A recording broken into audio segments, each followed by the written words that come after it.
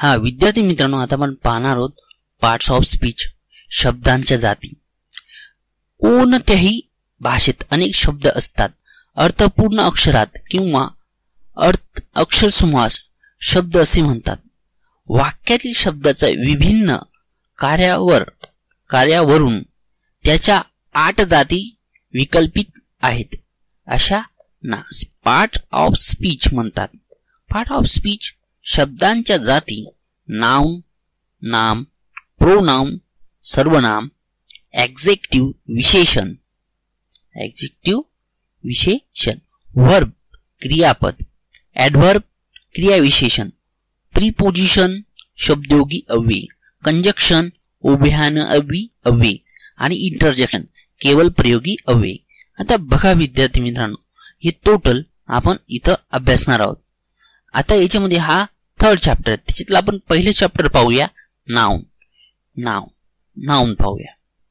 बघा हा नाऊन हे चॅप्टर इथं देण्यात आलेलं आहे. आणि याच्यात बद्दल आपण आता जाणून घेऊया. नाव त्याच्याबद्दल आपण जाणून घेऊया. बघा नाव नाव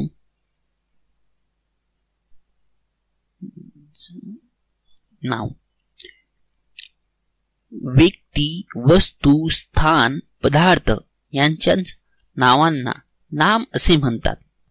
Example Ganpati class Pune childhood इत्यादी. हे सगळे नाम आहेत. कुठले नाव?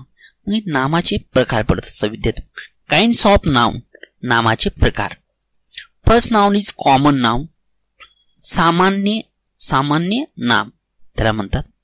सेकंड प्रॉपर नाउन विशेष नाम. प्रॉपर विशेष असतं ते. सेकंड इज ॲबस्ट्रॅक्ट नाम भाववाचक नाम. असे तीन प्रकार पडतात विद्यार्थी मित्रांनो. काइंड ऑफ नाऊनचे प्रकार साधारणतः कॉमन नाउन प्रॉपर नाऊन आणि ॲबस्ट्रॅक्ट नाव असे प्रकार. सामान्य नाम विशेष नाम भाववाचक नाम. कळलं? त्याच्यात आपण पाहणार पहिलं वाला कॉमन नाव कॉमन नाव सामान्य नाम. एकाच जातीच्या एकाच जातीचा किंवा वर्गाच्या वस्तू संबंधी वापरत येणारे नाम म्हणजे सामान्य नाम. सामान्य नामाचे खालील प्रकार भी पडत असतात विद्यार्थी. आता सामान्य नामाचे प्रकार कुठकुठले असतात ते आपण जाणून घेऊया.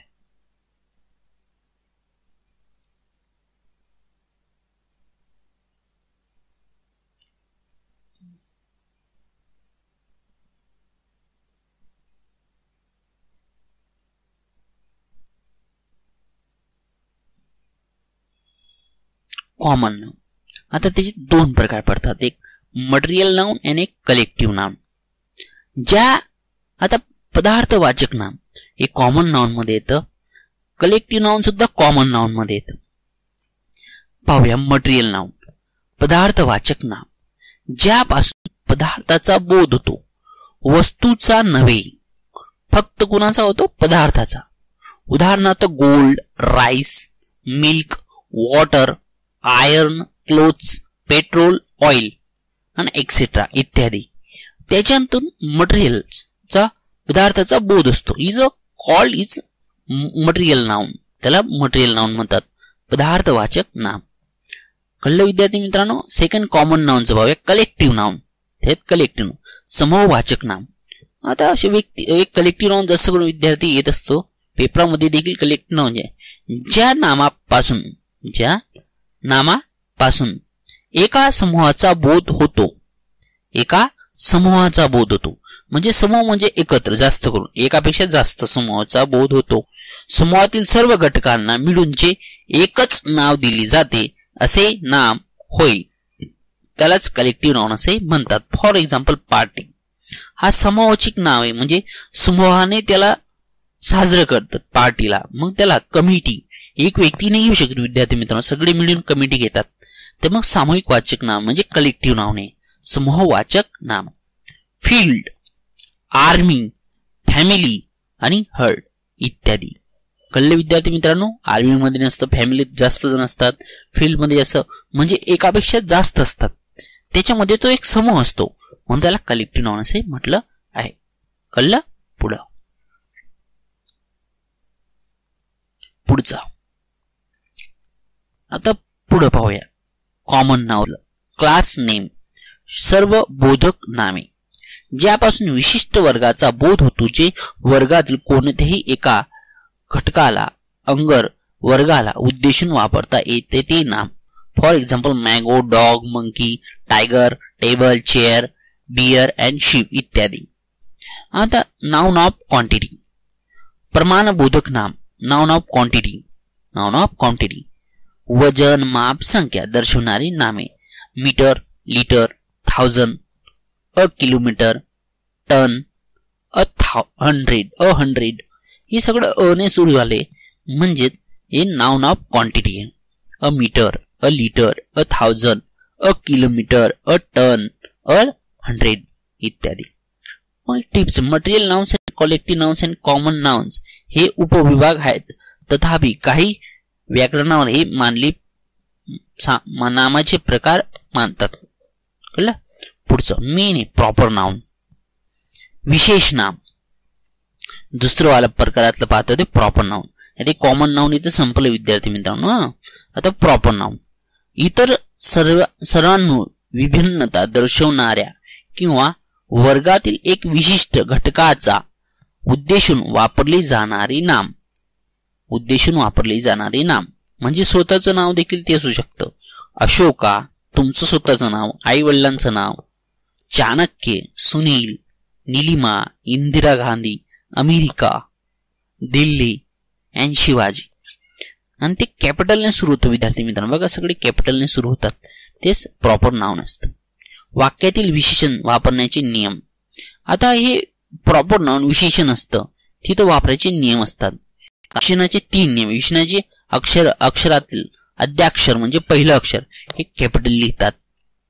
विशेषणा नामापूर्वी उपपद वापरत नाही.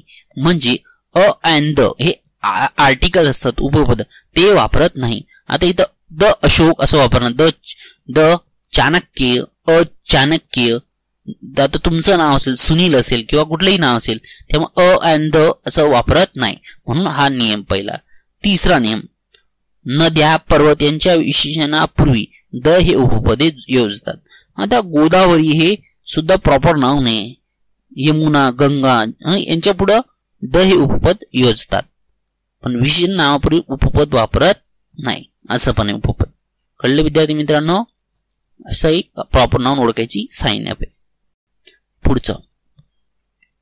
ऍबस्ट्रॅक्ट नाव. सगळ्यात ऍबस्ट्रॅक्ट नाव. एखाद्या विश एखाद्या स्थितीची गुणाची किंवा मानसिक कृतीची आपण कल्पना करू शकतो त्याला भाववाचक नाम म्हणतात. For example thief